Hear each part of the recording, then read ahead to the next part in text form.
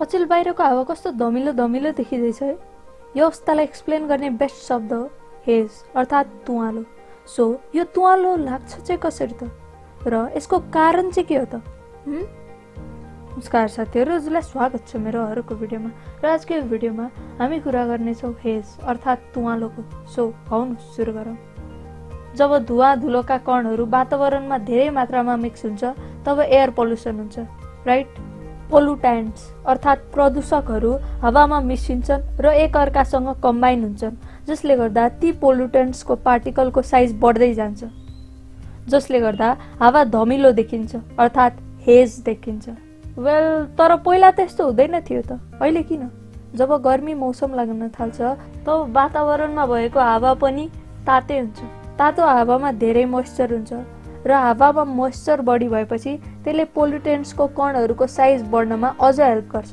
र त्यही पोल्युटेन्ट्सको साइज बढेको कारण नै हेज अर्थात् तुवालो अलि बढी लाग्छ। अझ हजुरहरूले नेपालको धेरै ठाउँमा आगलागी भएको खबर पनि सुन्नु नै भएको होला। त्यसकारण वातावरणमा झन् धेरै धुवा धुलो मिसियो र हावामा भएको पोल्युटेन्ट्सको साइज झन् ठुलो ठुलो भयो। त्यसकै कारण तुवालो लाग्यो। त्यसै गरी तुवालोको कारण आँखामा इरिटेसन हुनु सास प्रश्वासमा गाह्रो हुनुको कारण सिम्पल छ? कि हावामा धुवाबाट निस्किएको केमिकलहरू मिक्स भएको हुन्छ र जब त्यो आँखामा पर्छ तब इरिटेसन हुन थाल्छ। सिम्पल। अझै एउटा कुरा। हजुरहरूले काठमाडौँको एक्युआई यति छ पल्युसन यति माइक्रोग्राम पर मिटर क्युब छ भनेर धेरै ठाउँमा सुन्नुभयो होला राइट सो यिनीहरू चाहिँ के हो त? एक्युआई भनेको एयर क्वालिटी इन्डेक्स हो। कुनै ठाउँको एयरको क्वालिटी कस्तो छ भनेर नापिने युनिट हो एक्युआई र कति एक्युआई हुँदाको एयर कस्तो हुन्छ?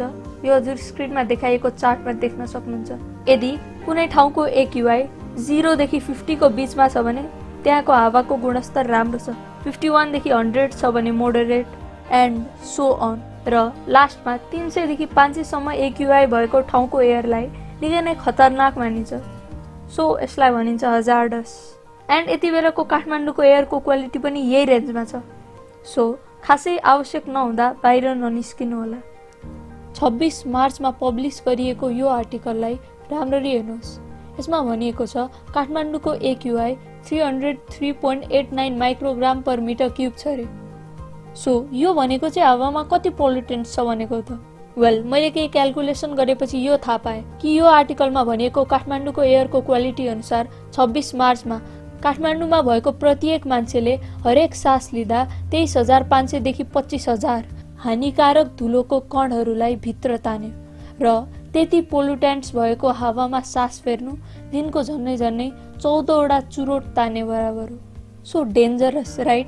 त्यसैले यो चिन्ताको विषय मलाई थाहा छ यतिका इन्फर्मेसन थाहा भएपछि हजुर अवश्य पनि यो तुवालोलाई लाइटली लिनुहुन्न।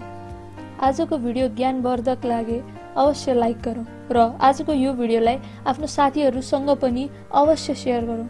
जसले गर्दा उनीहरू पनि यो बुझ्छन् कि यो तुवालो कति खतरनाक छ। भेट्नेछु हजुरलाई छिटै नै अर्को भिडियोमा त्यति बेरसम्मलाई बबाई टाटा। जय नेपाल।